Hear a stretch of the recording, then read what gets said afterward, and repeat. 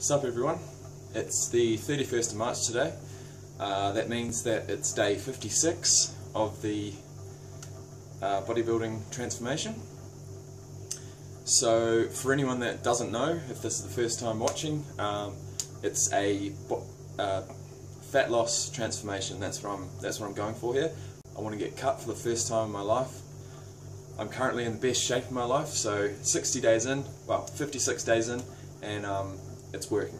So I'm really, really happy, really positive. This week has been a bit up and down um, with with regards to calories, and I've been making a habit of having carbs before bed, which is pretty much like suicide. But the fact that I've kept my calories in check for the for the first you know three quarters of the day has sort of meant that I um, I'm still losing weight and I'm still at 2800 calories or under. So that's okay.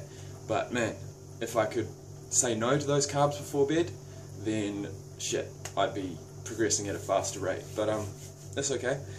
Um, really, the only thing I've got to update is uh, I've got a new pre-workout.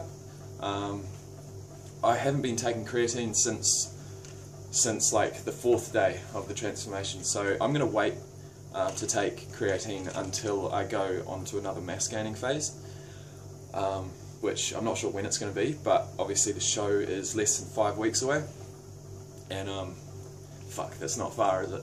And so I'm thinking, obviously, yeah, after the show, depending on, or after at that time, um, which should be around about day 90, um, I will assess where I'm at, and shit, if I'm not shredded by then, well, you know, in total I would have been dieting for for a good four four months.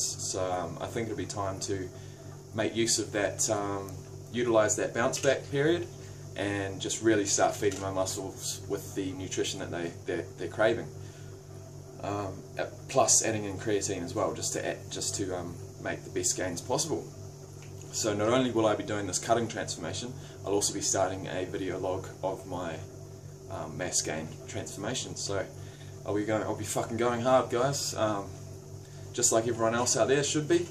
Um, anyway, new pre-workout is C4. I read the ingredients label and I really liked it. Um, green apple tastes really good. Uh, I still use uh, Optimum Nutrition Amino Energy just as a pick-me-up, like it, like I would a coffee. Uh, but for specific before pre-workout, before um before working out, I'd use C4. So yeah, that's what I'm doing right now. Having my C4, about to go hit the gym. Um, it's legs day, uh, and that's about it. My next video will be on the 60 day mark. I'll be weighing in, and I will be doing a posing video. So I can't wait for that. Um, that's it guys. I'm just rolling on. Keep watching if you want to, you know, get motivated. Uh, I hope I'm motivating someone. But I mean, with the, the body the way it is now, my body, um, it's certainly not where I want it to be. So it's going to be so much more epic when I fucking, you know, am, as they call, shredded. That's the goal anyway, so, fuck. Just keeping going. Four weeks, six days to the show, and it will be very interesting. So stay tuned.